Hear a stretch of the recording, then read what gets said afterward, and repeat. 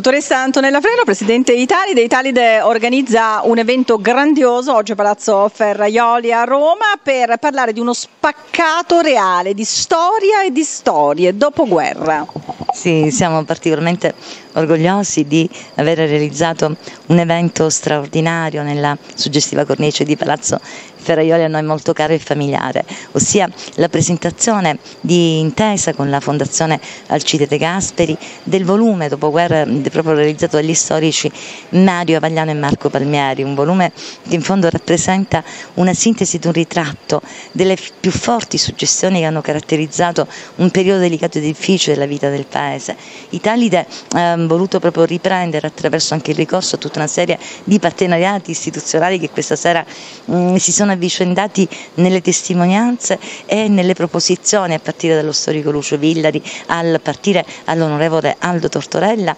per giungere sino alla straordinaria presenza della Presidente del concorso di Miss Italia Patrizia Mirigliani che ha ricordato il valore di un concorso nato in quella fase storica e quest'anno giunto all'ottantesima edizione quale icona di un modo di rappresentare l'eleganza e la bellezza made in Italy. Tutti elementi che sono stati rafforzati dalle straordinarie interpretazioni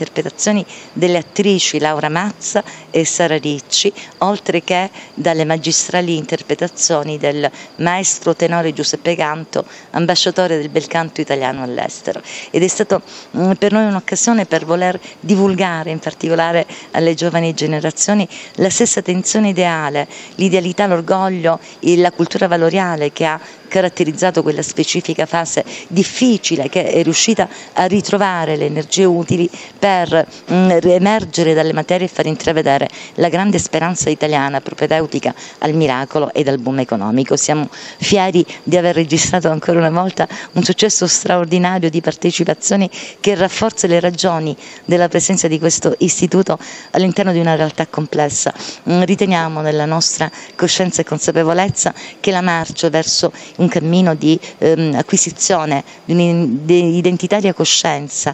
tesa alla valorizzazione di un protagonismo reale della storia del Paese vada rimarcato con gesta, sacrifici ed esempi di donne e uomini che sappiano dare significato e valore alla um, storia del nostro Paese. Ecco, dopoguerra è mm, l'emblema di una grande capacità di ricostruzione che va riaffermata nella postmodernità con un'attenzione